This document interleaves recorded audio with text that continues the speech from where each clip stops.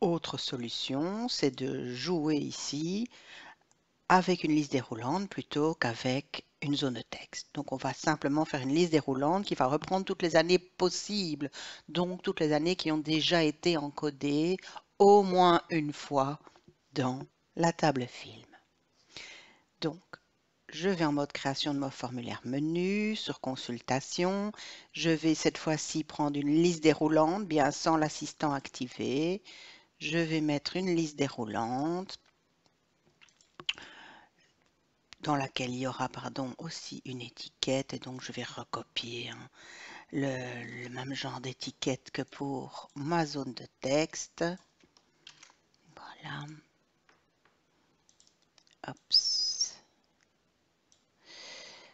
Que je vais mettre peut-être en plus, en plus clair pour qu'on puisse voir. Voilà. Et on voit aussi, donc comme tout à l'heure, que c'est bien un contrôle indépendant, donc qui ne dépend pas d'un champ, qui ne va pas aller encoder la valeur dans un champ ou chercher la valeur dans ce champ. Je vais aller changer les propriétés. D'abord, je vais donner un nom. C'est une liste, donc je vais l'appeler LST année. Voilà. Et puis, euh, je vais aller donner du contenu à cette liste. Donc, où va-t-il trouver les données de la liste? Donc dans contenu, je vais dans les trois petits points pour générer un SQL. Je vais lui dire d'aller voir dans film et dans film de prendre l'année. Si je fais ça, je peux déjà aller voir ce que ça donne. Eh bien, j'aurai toutes les années qu'il a trouvées dans ma table film pour mes 760 films. Bon, je peux bien sûr demander un tri. Peut-être décroissant pour voir les plus récents au-dessus mais on voit qu'effectivement, si j'ai 20 euh, films de 2017, j'aurai 20 fois 2017. Donc, rappelons-nous le cours de base. Je vais aller changer les propriétés de ma requête pour lui demander de n'avoir que les valeurs distinctes. De cette manière, je n'aurai qu'une seule fois chaque année. C'est parfait. Je vais fermer cette requête, enregistrer le SQL qui est sous-jacent,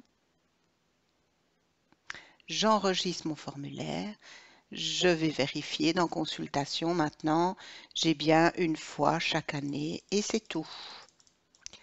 Les années qui n'ont pas été encodées ben, n'apparaissent pas dans ma liste déroulante. Maintenant, il faut que je fasse ma macro créer ma macro. Euh, je vais lui demander donc ouvrir formulaire. Je vous passe des commentaires pour le moment. C'est le formulaire toujours film qu'il doit ouvrir à condition que cette liste déroulante, alors je vais rechercher dans le générateur le nom de la liste Année. Je peux double-cliquer hein, pour l'ajouter. Et OK, ben, LST année doit être égal à, oh, pardon, j'aurais pu rester dans mon générateur.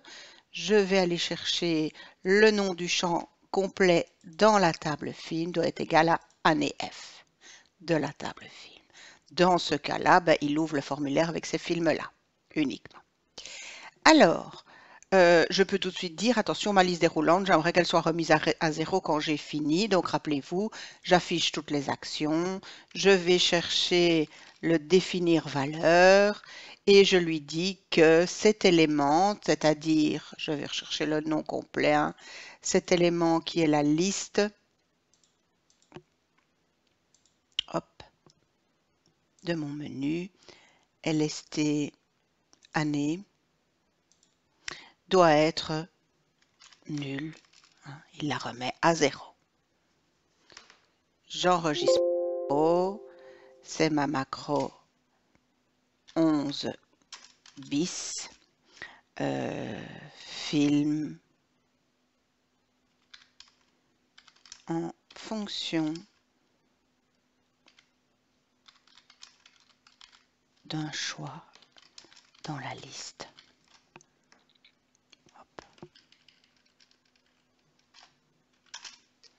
Et voilà. Et puis je vais accrocher cette macro à un événement de ma liste déroulante.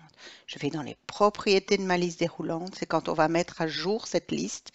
Donc je vais de nouveau sur l'événement.